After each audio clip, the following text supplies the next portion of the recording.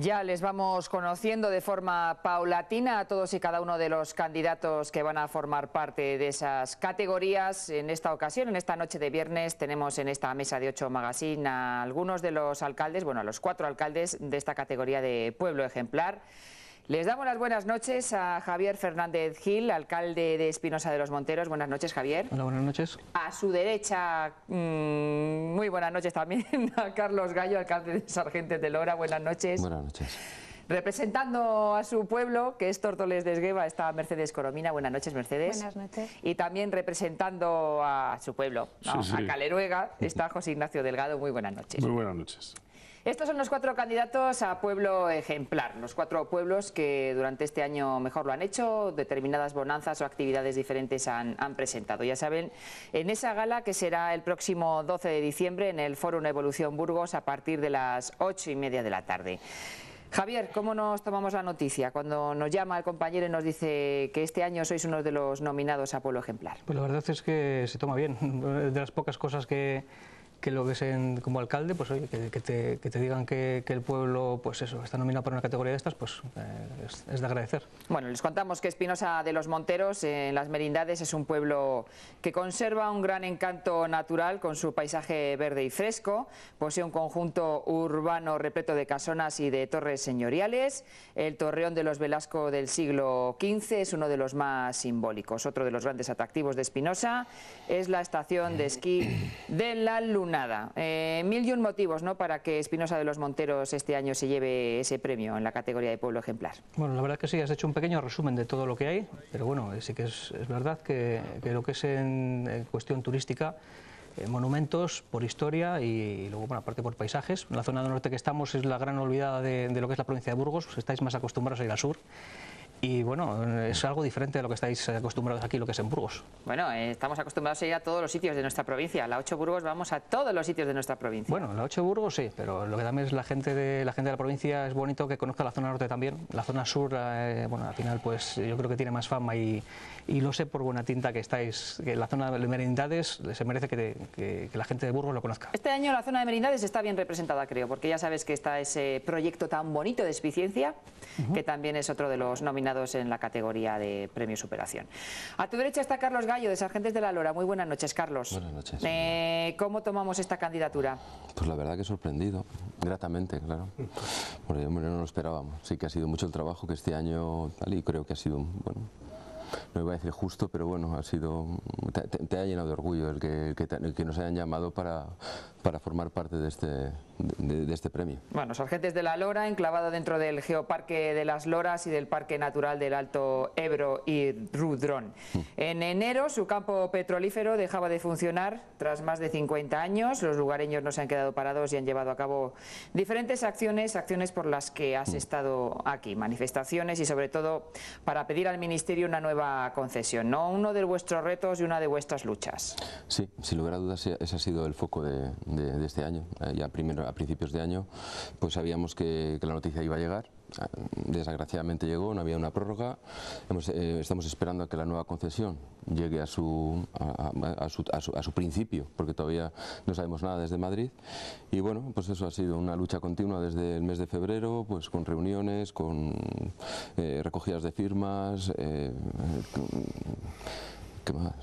De todo. Marchas. De todo, eh, marchas. Aquí has estado de todo, por de mil todo. y un motivos, Sí, eh, sí. pero siempre con ese también ese cariño que tenéis ¿no? por ese Museo del Petróleo. Claro, ahí tenemos el Museo del Petróleo que plasmamos un poco, bueno, el, el todo. O sea, ahí se resume el hidrocarburo en España. Eh, hay que decir que somos los únicos que tenemos eh, petróleo en España, que está en la provincia de Burgos y que, y vamos, que es una pena que, que, que, esa producción se haya parado y hayan quedado 18 familias en la calle, uh -huh. que es por lo que estamos luchando para sacar esto adelante.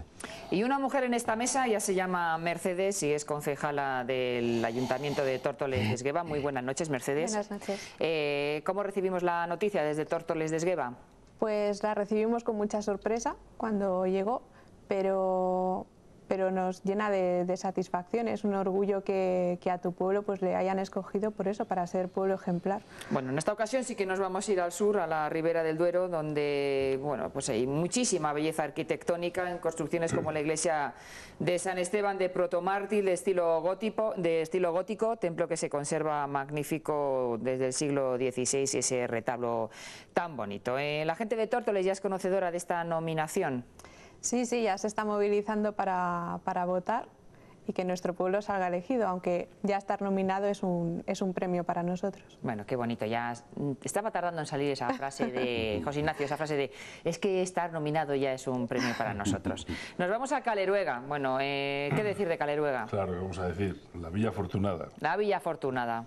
¿Qué bondades tiene la localidad? ¿Cómo recibimos esta nominación este año? Pues la verdad que también con gratitud. Bueno, yo vengo eh, por parte de la alcaldesa Lidia Rivas, que la, a la, que saludamos. saludamos porque yo como buen vecino soy obediente y es alcalde también, pero aquí estamos a representar, porque por motivos laborales no puede estar, pero vamos a decir y a defender que Caleruega, bueno, la verdad que los tres pueblos de al lado son muy bonitos, todos, pero Caleruega pues tiene esa autenticidad, esa singularidad y, ¿por qué no decirlo?, ¿no? esa monumentalidad. Tenemos dos monasterios, como bien sabéis, de Santo Domingo, el Real Monasterio de Santo Domingo, el convento, en fin, el Torreón de los Guzmanes, eh, esas loberas de naturaleza envidiable y sobre todo pues que cuidamos muy bien el patrimonio y de hecho también tuvimos un premio que somos de los pueblos más bonitos de España, como sabéis. Sí. Y en fin, yo creo que estamos trabajando en la buena dirección e intentando que, sea un pueblo vivo, lleno de ilusión y lleno de, futuro. El pueblo sin futuro no, no tiene sentido. Eh, además, Caleruega también, bueno, como todos los pueblos que están aquí, ¿no? siempre intentando dinamizar la localidad y también atraer población, ¿no? Quizás uno de los puntos débiles de todos los pueblos a nivel de toda la provincia. Pues sí, ahora el ayuntamiento está ahora, por ejemplo, haciendo un nuevo polígono, por fin, muy, muy sensato, muy pequeñito, pero hay unas 17 peticiones ya en firme de, para hacer pequeñas empresas estamos un poco pues intentando combinar ese pequeño polígono, el turismo, nuevos establecimientos, casas rurales, todo suma, ¿no? Y sobre todo que está también volviendo gente que se está jubilando a estos pueblos nuestros, que vienen de desde Barcelona, desde Madrid, que si realmente somos capaces de darles servicios, pues tiene una calidad de vida envidiable y hay que apostar por todo. Importante que, los que, que, los que viven en la localidad puedan trabajar cerca de la localidad. No es algo que he hablado muchas veces con Carlos de, de Sargentes de la Lora, que siempre lo dice, ¿no? Si la gente al final le falta su puesto de trabajo, al final se va a ir. Sí. por eso las comarcas, pues nosotros estamos cerca en este caso de Aranda de Duero, las merindades, en fin, todos necesitamos una cabeza de comarca potente, que donde cerca de 30, 40 kilómetros todos podamos trabajar y vivir y así todos los pueblos pueden tener sentido y tienen futuro. ¿no? Y en ese, mm, eso sí, hay que tener buena conectividad, que nos falta en los mundos rural, de Internet sobre todo, y, banda ancha, que a ver si una vez por todas el consejero de fomento se da cuenta, bueno, y el Estado ya sabes que son competencias estatales, y luego unas carreteras dignas. Y entonces yo creo que con ese binomio, con un poco de ilusión y con ayuda que nos hace falta por parte de las administraciones, pues podemos tirar adelante. Puntos importantes, ¿no, eh, Javier, los que ha tocado? Sí, yo siempre también he dicho lo mismo, que lo, importante ahora son las comunicaciones, sobre todo pues, bueno, lo que es carreteras, porque lógicamente es acortar distancias, y luego pues bueno, Internet que es el futuro y pues hasta para las empresas también que incluso pueden hacer venta online o, o gente que trabaja desde casa, que por ejemplo en Espinosa hay, gente que lo hace, pues que es importantísimo y bueno, tampoco es tan, tan difícil esas dos cosas el, cubrirlas. Javier, muchas veces cuando hablamos con un pequeño emprendedor que está en un pueblo, dice, es que la calidad de vida la gano aquí, ¿no? ¿Se gana calidad de vida viviendo en los pueblos realmente?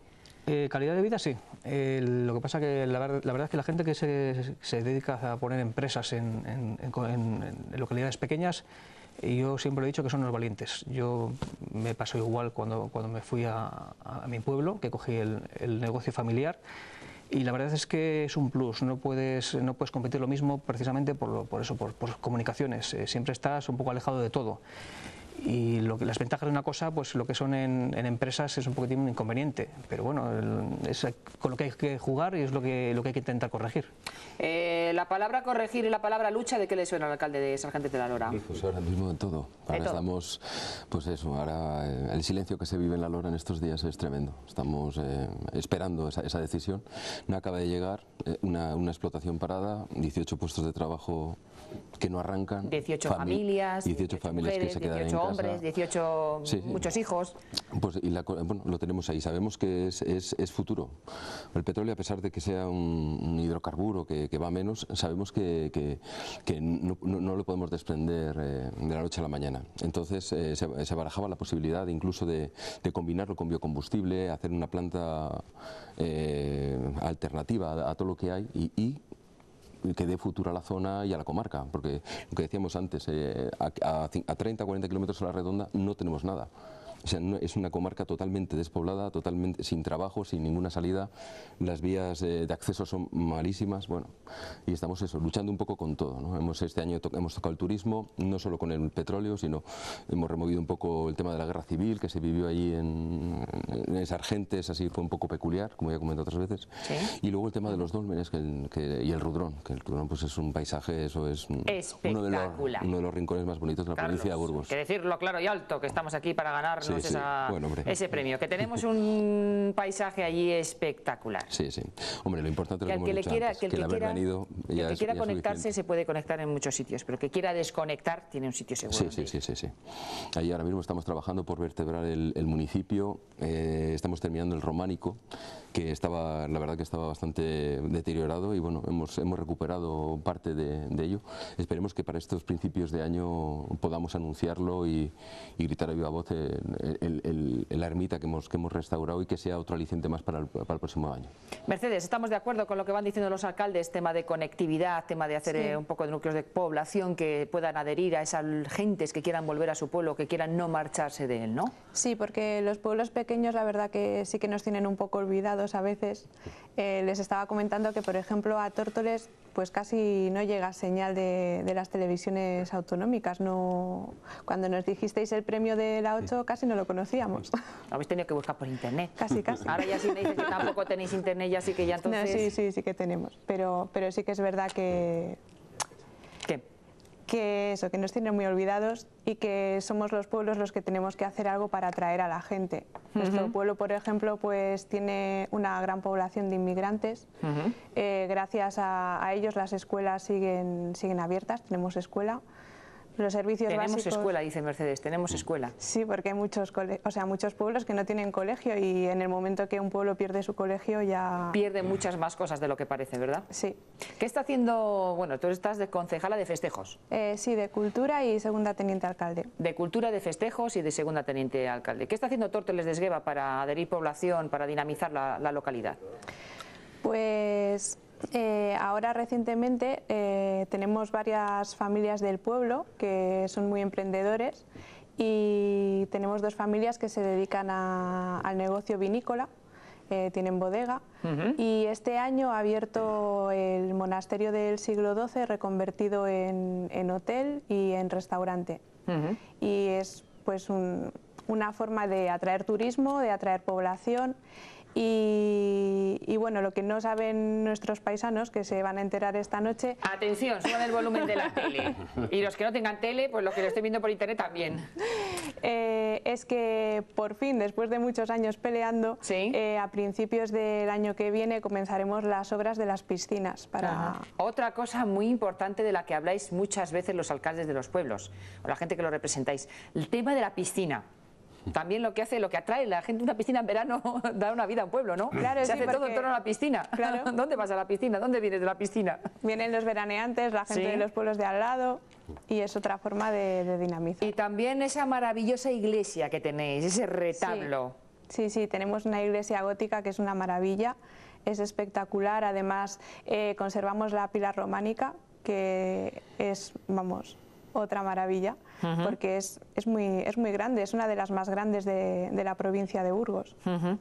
y, y, además Tórtoles es que tiene mucha historia, si tiene que ser ejemplar también es por la historia. Recordemos que Juana I de Castilla estuvo allí, se encontró con su padre Fernando el Católico, o sea que durante unos días en Tórtoles se reunieron los reyes de Castilla y de Aragón con sus respectivas cortes.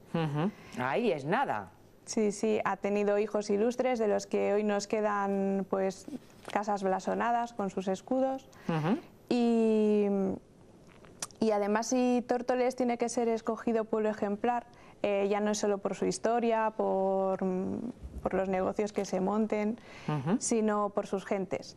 Porque son gente solidarias, eh, acogedoras, dinámicas, emprendedoras, alegres, son las que hacen que Tórtoles tenga su esencia y por ello es por lo que debemos ser elegidos pueblo ejemplar. José Ignacio, te toca. Has tenido antecesora todo un alegato de por qué mi pueblo tiene que ser elegido pueblo ejemplar. Pues Alto, eh, claro y con el corazón en la mano. Con el corazón en la mano tiene que ser elegido pueblo ejemplar porque no es que sean más bonitos todos los tres, los conozco y lo son.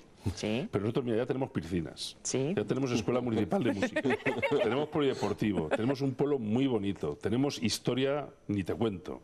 En mi pueblo estuvo Alfonso VIII, tenemos esas bodegas medievales espectaculares, una bodega romana, tenemos la historia del vino de Santa Juana de Aza y Santo Domingo, si es que Alfonso X el Sabio funda el monasterio en, 1270, tenemos tantas cosas que la verdad que, pero ante todo y sobre todo, lo que tenemos es ganas de dar oportunidades al que venga. Y de hecho, hemos dado, por ejemplo, una parcela gratis o casas para hacer una panadería. Lo seguimos diciendo, que vengan a emprender a Caleroga que le vamos a dar. El polígono, el precio es un metro, un euro el metro cuadrado. Fíjate, más facilidades no se pueden dar.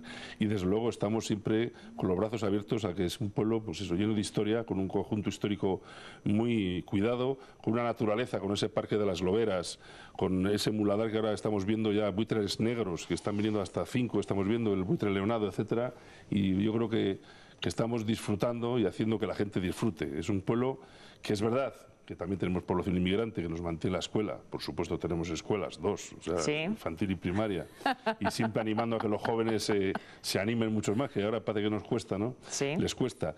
Y, en fin, yo creo que es lo más importante, que la gente se, se encuentre a gusto. Estamos cerca de Aranda de Duero, cerca de, de buenas comunicaciones llenos de, sobre todo de oportunidades y sobre todo convencidos que es donde mejor se vive. Yo creo que los cuatro que estamos aquí vivimos en el pueblo porque estamos convencidos que es donde mejor vivimos. Cuando vamos a Madrid, que por veces tenemos que ir de vez en cuando a Valladolid, te das cuenta que no merece la pena. No merece la pena esos atascos infernales, ese perder el tiempo, no sabemos para qué, ni dónde van ni dónde vienen. Yo creo que alguno ni lo sabe.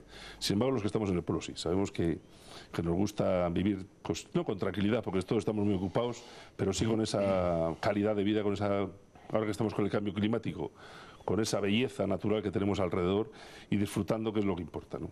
Eh, Javier, eh, dos alegatos muy potentes con esa competitividad sana que me encanta que salga en esta mesa, ¿no? Porque mi pueblo tiene que ser pueblo ejemplar. Eh, Espinosa, yo creo que es que reúne un poquito de todo y también tiene sus peculiaridades y sus cosas específicas, ¿no? ¿Qué son? Yo si fuese una, esto una partida de cartas, ya digo que por, por cartas ganaría. Eh, tenemos piscinas también. Toma ya, esto de las piscinas de la escuela va a dar mucho que hablar. Carlos, además, vete pensando si hay piscinas, hay escuela, si hay de secundaria o de... Tenemos, tenemos estaciones de esquí, creo que... Lo de la estación de esquí, eso de la estación de esquí aquí ya...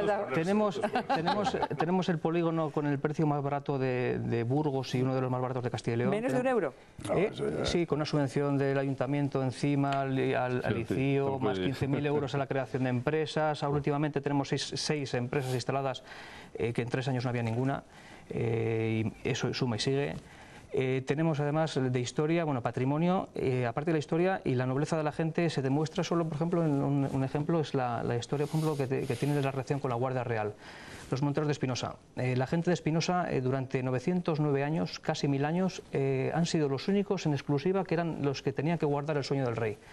Eh, nadie de fuera que no fuese de Espinosa podía cumplir esa misión. O sea, durante 900 años la gente, los reyes de España han, apostado por gente de Espinosa, precisamente para conservar cuando más débil es el rey, que es en, sus épocas, de, en sus horas de sueño. ¿no?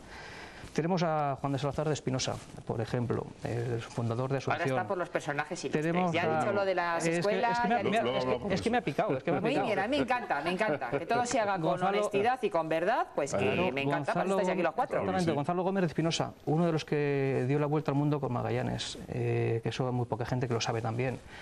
Aparte de eso, pues lo de la Guardia Real es lo que más, pues sobre todo porque tenemos todavía vínculo con ellos en, lo que es la compañía de Monteros que delegan la Guardia Real, hasta desde mil, del año 1006 hasta, hasta la República, toda la gente de Espinosa estaba en exclusiva. Por eso el patrimonio que tiene Espinosa, al ser gente que estaba en la realeza, tenía sus, sus solares con sus escudos y es lo que tiene en patrimonio. Entonces, pues bueno, mm, si, bueno, si aquí... Yo de Blasones ando muy mal, ¿eh? Luego las cosas como son, como era un señorío monástico, porque Alfonso X Sabio mm. introduce a la mm. primera priora de Dominicas, lógicamente no había hidalgos de ningún tipo. Entonces el único blasón, digamos, es el propio monasterio en sí. Pero hay que decir que nosotros a personajes ilustres, ilustres tenemos a Santo Domingo de Guzmán, ¿eh? este es el dominguito de la suerte, luego regalo uno a cada uno. Que falta nos va a hacer a todos, que da salud.